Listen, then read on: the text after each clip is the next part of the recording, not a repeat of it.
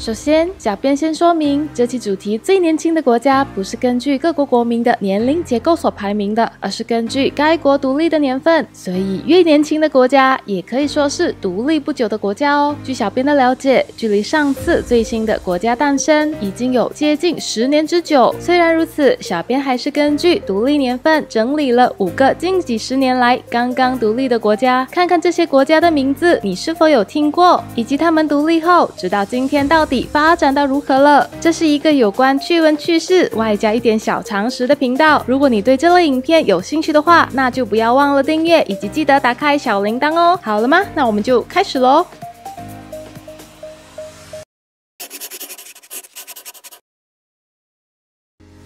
第五。帕劳共和国也称帛琉。帕劳是个位于太平洋的岛屿国家，四季如夏，人们主要说英语和帕劳语。第一次世界大战期间曾被日本占领，接着在第二次世界大战结束后，由联合国授权美国以太平洋群岛托管地实行托管。一九七九年，帕劳首次举行公投，反对加入密克罗尼西亚联邦，最后与美国签订自由联合协定，由美国提供经济援助以及国防协防。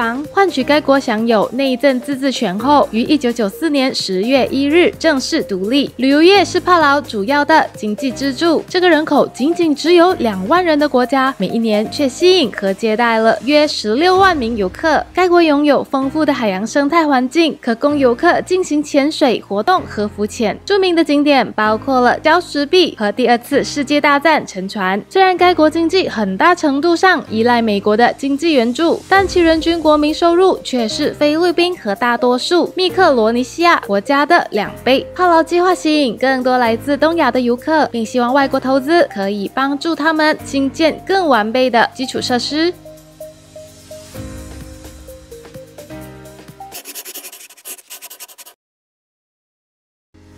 第四。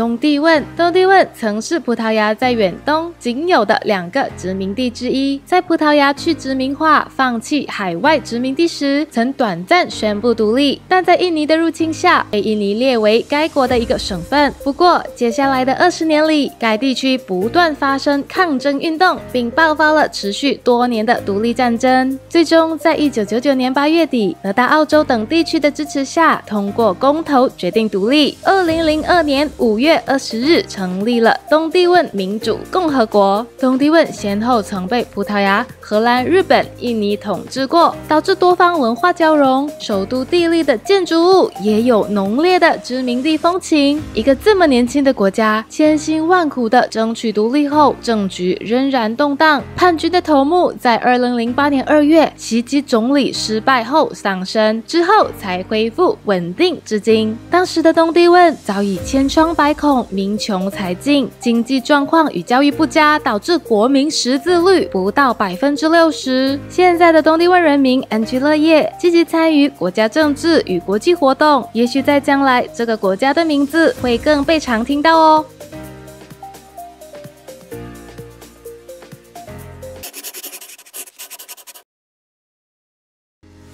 第三。黑山也称蒙特内哥罗，该国原先是于1992年与塞尔维亚共组南斯拉夫联盟，但在1996年，该国政府宣布和塞尔维亚断绝关系。2000年，在塞尔维亚强硬派下台后，在欧盟的调停下签署协议，暂时与塞尔维亚成立两个各自拥有经济主权的半独立国家，更名为塞尔维亚与黑山。但该协定也通过了，任何一方都有权利可以在。三年后提出脱离联邦的决定，最终黑山在二零零六年举行独立公投，凭着百分之零点五的微弱优势终止与塞尔维亚的联邦关系。后于二零零六年六月三日在黑山议会正式宣布独立，同时成为联合国成员。该国经济主要依靠着旅游业支撑，亚得里亚海滨和境内的山景均美轮美奂，现已被列为世界遗产。沿峡湾东岸的古城科托也带旺了整。整个旅游产业。根据之前的记录，一年内平均吸引了三百五十万人次的游客，这为该国带来了可观的外汇收入。近年来，该国大力吸引外国投资者直接参与该国的旅游新建设投资和大型基础设施项目，以促进当地的旅游业发展。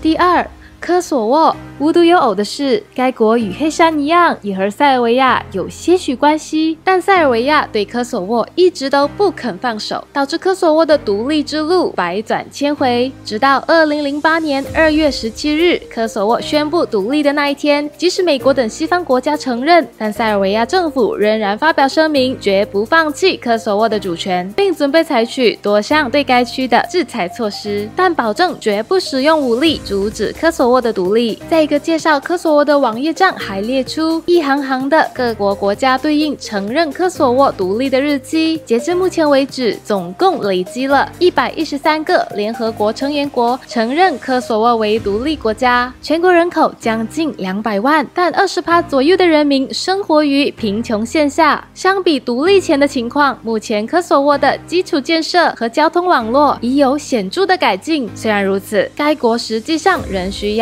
各国的经济援助。值得一提的是，塞尔维亚承认其民选政府，但坚持认为该地区是塞尔维亚的自治省之一。科索沃究竟是不是一个独立国家，其实还算颇具争议。那大家认为科索沃的独立算不算合法的呢？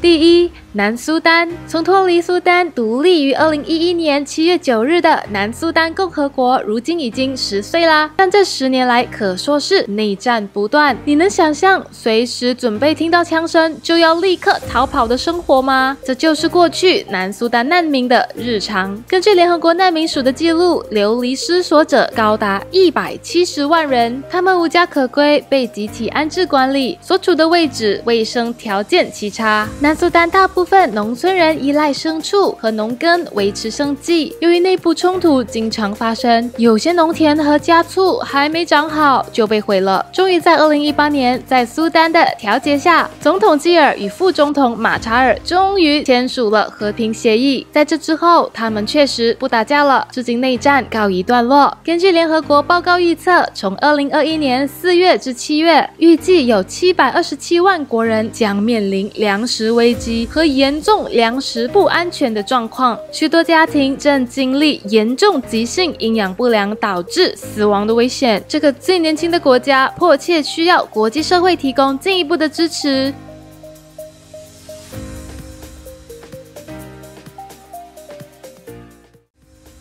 每个国家独立之后的初始之路都不好走啊！希望这个影片能增加你对这些年轻国家的了解。有什么意见也欢迎在底下留言。不过小编再次重申，希望大家能理性留言，文明讨论。如果喜欢我们这期影片的话，就记得帮忙按赞、分享和订阅我们的频道。世界之最，我们下期见喽，拜拜。